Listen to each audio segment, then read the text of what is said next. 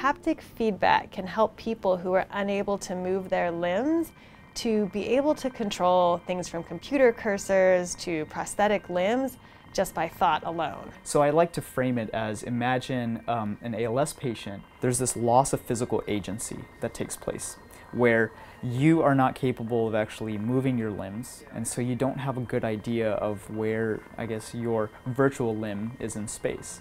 And can we use haptic technology to give you a better idea of where your virtual limb is in space? This thing that I'm putting on my head right now is a Surface EEG headset. And basically what that means is that there are these various electrodes placed all over my head.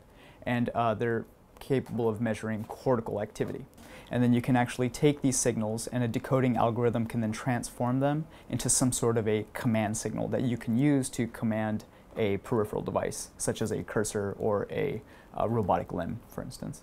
As I am controlling the cursor on the screen, I would get skin stretch feedback on my fingertip that's mapped to either the position of that cursor in space or the velocity at which it's moving. So this tactor here uh, basically comes into contact with your finger pad and it provides tangential forces due to this uh, its large density of mechanoreceptors. They're really uh, tuned to this kind of haptic stimulus. And so you can actually display a direction and a magnitude of force on the fingertip. And this is kind of a cue, you know, as to, hey, the position of your cursor is up towards the right of the screen, and you will actually feel then a force that's kind of pushing your finger up to the right of the screen. And so without them actually being able to move their finger, we can kind of play back what they would feel if they were able to do so.